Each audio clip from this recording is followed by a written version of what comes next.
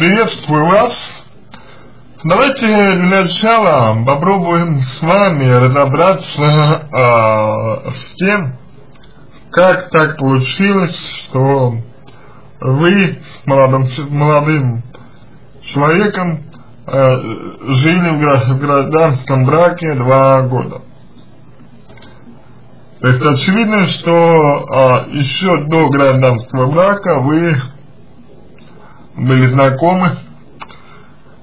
Очевидно, что, что еще до гражданского брака вы, а, ну, находились в отношениях.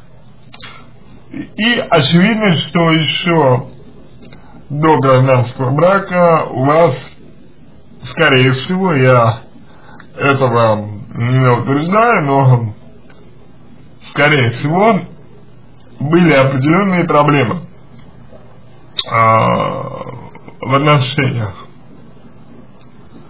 в, значит, во взаимодействии между вами, да, между вами и, собственно говоря, молодым человеком.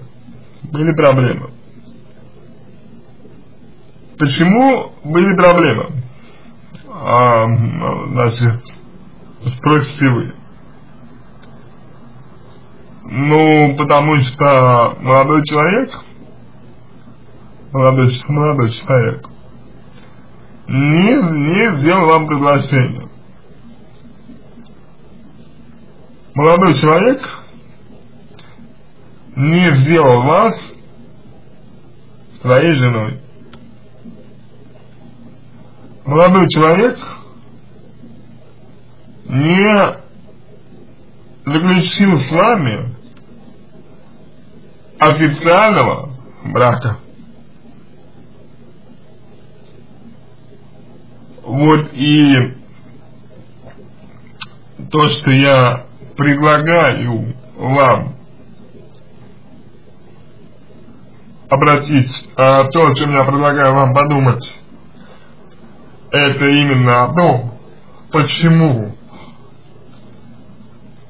Так получилось, что молодой человек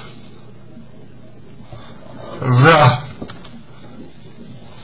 то время, что вы были с ним вместе, за вот то время, что вы проводили с ним, провели с ним, почему за это время он не сделал вам предложение.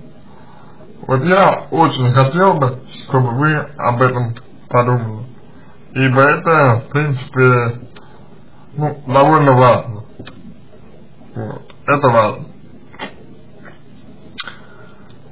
Далее. Да. Далее, а, ситуация заключается в том, что вы говорите, значит, мы расстались с любимым человеком. То есть вы говорите о неком таком расставании с любимым человеком, но при этом этот человек был никем иным, как, как всего лишь вашим гражданским мужем. Гражданский муж, по большому счету, это не любимый человек, как таковой. Это не близкий человек, как таковой. Гражданский муж – это чужой человек, сожитель, с которым вы добровольно, к сожалению, согласились, эм, ну, встречаться, согласились эм, жить, согласились на секс и так далее.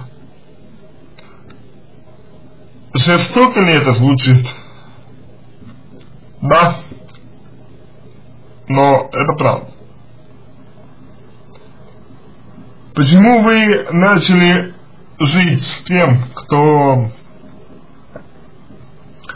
не захотел делать вас своей женой, ну, тоже, на мой взгляд, довольно интересный момент.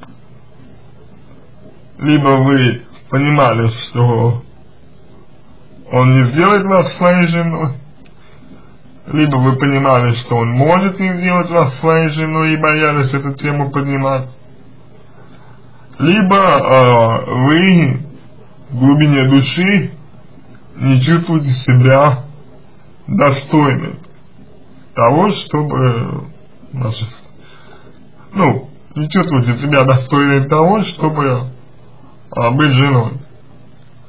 Это, конечно,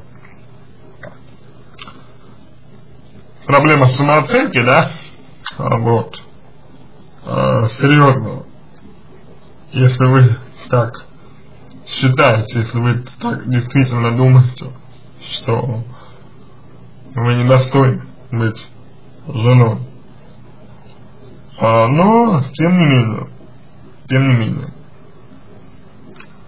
какие-то причины а, для того, чтобы вы были в сожительстве с ним, ну, у вас имеются.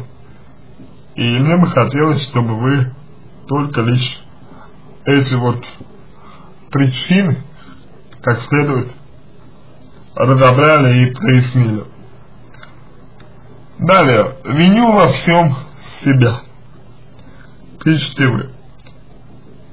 Ну, а здесь при, при том условии, что а, при том условии, что вы вот имеете проблемы с самооценкой, как вот я понял, а, вин, винить себя это нормально. Винить себя это а, естественный такой для вас а, сценарий поведения. То есть для вас нормально брать ответственность за другого человека, а вы берете ответственность за другого человека, когда вините себя. Потому что у молодого человека это ведь тоже выбор был. Быть ему с вами, например, или быть ему без вас.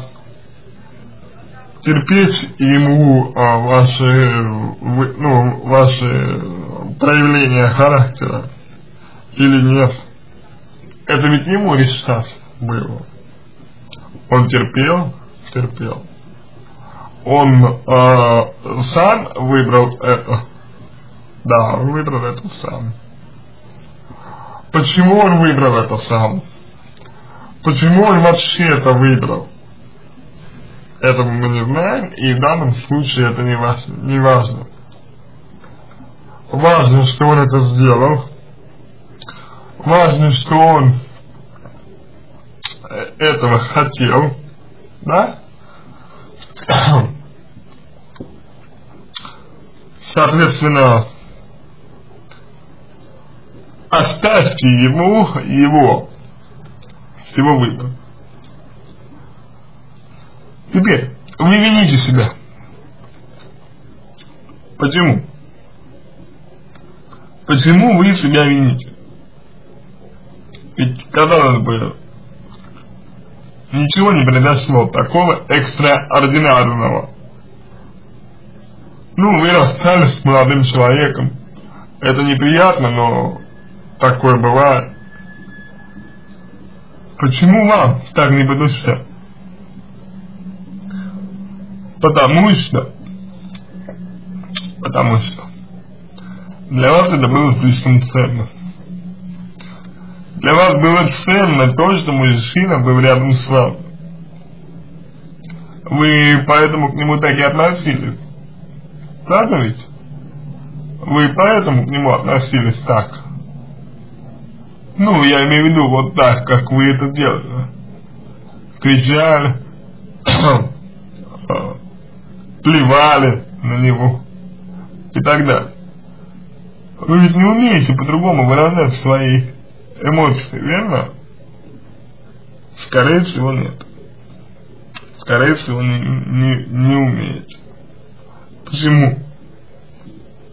Потому что не научили.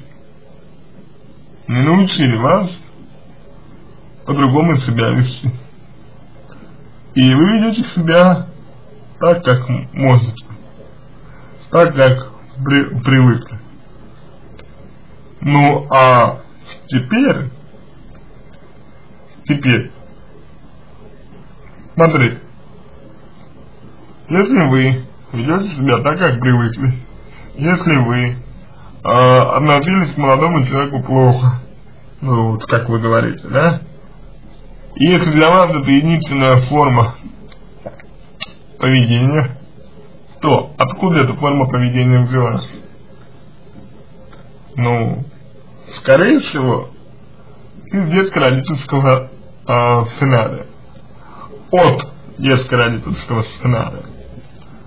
Ну вот и давайте подумаем, если от детско-родительского сценария у вас это взялось, так может быть именно в детско-родительском сценарии и есть причины того, почему вы, э, например, не цените себя, чтобы э, стремиться к браку, э, обесцениваете себя, цепляетесь, а, ну, например, например, э, чрезмерно цепляетесь за других людей, да, то есть вот, ну,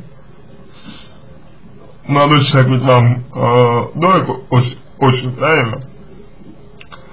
Смотрите, вы говорите о том, что вы страдаете. То есть у молодого человека сейчас все хорошо, а вы страдаете. Почему? Ведь если он любимый человек для вас, если он любимый э, ваш мужчина, то вы, наверное, хотите, чтобы у него все было хорошо. Наверное, вам хочется, чтобы он был счастлив. Но, если вам хочется, чтобы он был счастлив, то тогда ведь несложно догадаться, что вы не можете, вы не можете э, пожелать ему счастья. Почему?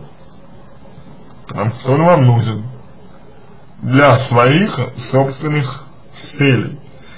Вы с помощью него удовлетворяете свои желания, свои потребности с помощью него. Именно поэтому вы так сильно и переживаете, потому что он нужен вам. Вы нуждаетесь в нем, а нуждаемость делает человека зависимым от других. Вот поэтому как раз вы и переживаете, потому что молодого человека отпустить вы не можете по причине, по причине того, что он был для вас средством для достижения своих целей. Может быть, он э, позволял вам почувствовать себя, ну, той, кем вы себя не ощущаете. Например, любимый, например, ценный, например, важный.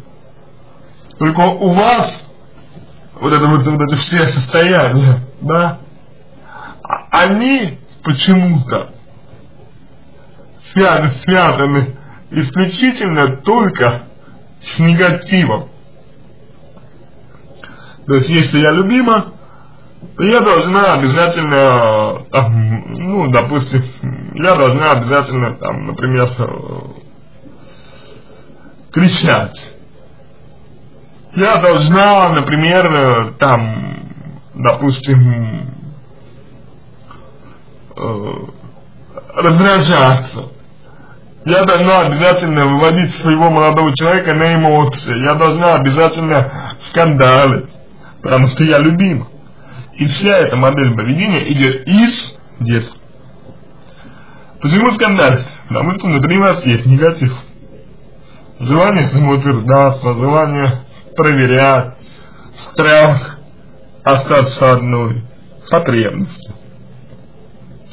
И вот все это мешает вам быть собой. Для того, чтобы быть собой, вам нужно убрать все вот эти вот проявления, проявления зависимости, скажем так.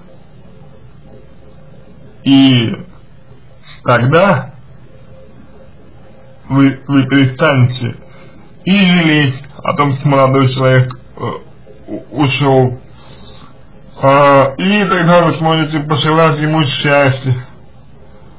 И тогда у вас получится выстраивать гармоничные, здоровые отношения. Но это работа над собой. То есть правильно сказал коллега, что негативный сценарий вы, вы повторяете. И вопрос о том, как вам быть, вот, как вот вы задаете, да, как вам быть, как мне быть. Вопрос, как вам быть. Можно решить, ну, можно на него ответить так. Вам необходимо заниматься личностным ростом, личностной работой, Э, повышать самооценку и детско-родительские отношения разбирать. Обязательно. Одновременно с этим я бы порекомендовал вам модель, э, ну, модель женского поведения э, прорабатывать. То есть, то есть, ну, формировать, сформировывать модель женского поведения для того, чтобы а, все-таки лучше, а, более, так скажем, активнее а, мужчину делать мужчиной. Все-таки это важно. Ну, подобный аспект, да, подобный аспект, он важен, очень важен. Вот. Значит, только, а, только работа. А, работа с психологом и регулярно. Вам где-то рекомендуется, потому что то, что вы делаете, это нарушение границ а, своих и границ другого. То есть вам еще нужна работа на границе, на выставление личных границ своих. своих на нерастворение э, в а вы именно на это и были нацелены, верно? На слияние, на слияние с, с этим человеком. На этом все. Надеюсь, помог вам. Если у вас остались дополнительные вопросы, пишите в личку. Буду рад помочь. Если вам понравился мой ответ, буду благодарен, если сделаете его лучшим. Желаю вам всего-всего самого доброго и удачи.